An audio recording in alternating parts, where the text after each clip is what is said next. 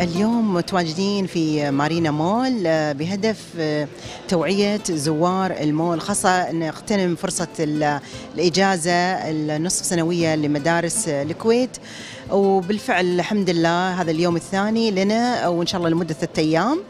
لاحظنا في جدا وعي لدى الزوار وحتى الأسئلة أصبحت أسئلة جدا قيمة وواعية بخصوص المرشدات بخصوص إضاءة الليد أيضا بخصوص أن تفعيل خدمة الدفع عن طريق الإنترنت وأيضا أن لاحظنا أن كل هذه التوعية والأمور اللي نغرسها في المواطن تساهم في خفض معدلات صيف 2000 إن شاء الله و17 اللي دائما نجهز له سنويا من خلال هذه الفعاليات.